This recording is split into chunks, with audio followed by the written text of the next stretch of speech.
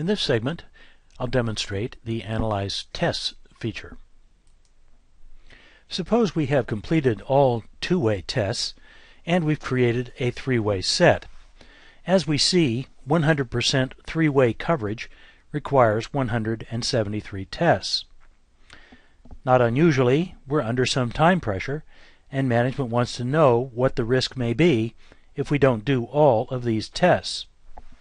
We can get information that helps answer that question with the Analyze Test feature. To do that, we click on the Analyze Test button at the top of the page. We now see that the default, again with the coverage chart, is two-way, and we are interested in three-way. So let's select the three-way option, and we will then see a graph that shows us the diminishing returns that occur as we execute tests.